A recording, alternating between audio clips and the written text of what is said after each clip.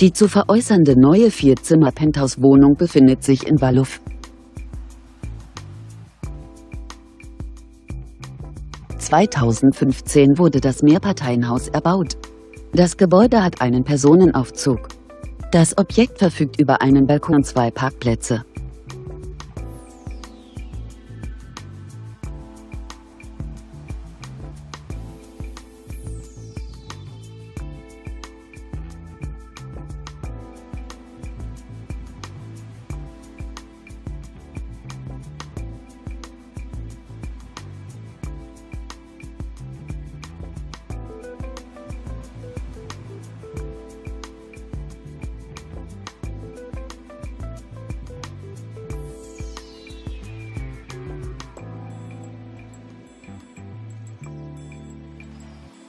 Die Wohnfläche der Penthouse-Wohnung liegt bei ca. 144 Quadratmetern. Der Kaufpreis der Immobilie beläuft sich auf 439.000 Euro. KP International beantwortet gerne Ihre Fragen.